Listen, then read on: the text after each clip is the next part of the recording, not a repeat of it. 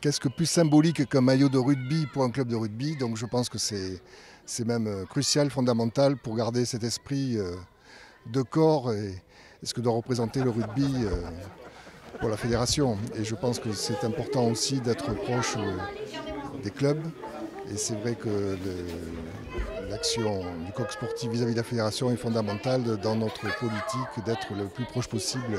des clubs. Quand on leur a dit qu'il y avait la remise comme aujourd'hui, il y avait une satisfaction totale qui fait que quand on leur en parle, ils ont, bah, je veux dire, voilà, ils sont plutôt contents d'y avoir cru dès le départ et d'avoir une réalisation qui se fait. C'est un très beau travail. On a presque l'impression qu'il y a les, couleurs de l'école de, rugby de Florac ou du club de Florac sont parfaitement faites pour ce maillot, puisque le travail qui a été fait avec Coq Sportif via aussi, je crois, Intersport, si je ne me trompe pas, dans la réalisation finale, est absolument sublime. L'importance est liée déjà au fait de la catégorie qui a été choisie, c'est-à-dire l'école de rugby, ce qui représente déjà un investissement de la fédération et du coq sportif euh, par l'intermédiaire de la fabrication des maillots, dans un domaine qui est purement amateur et qui, qui concerne directement aussi ce qui va être l'avenir de chacun des clubs pour lesquels euh, la fédération s'est engagée. C'est une très belle valorisation pour le monde amateur, ce qui est quelque part une réponse importante aussi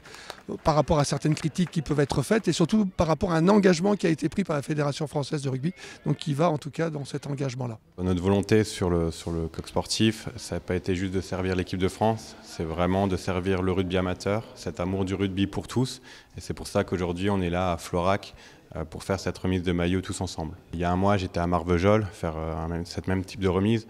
voir le, sourire dans les, dans les yeux des enfants quand ils reçoivent le maillot, la fierté des bénévoles, de voir qu'on les accompagne, qu'on leur donne ce petit coup de pouce, puisque c'est vraiment un coup de pouce qu'on veut donner au, rugby amateur pour leur développement et pour les accompagner. Merci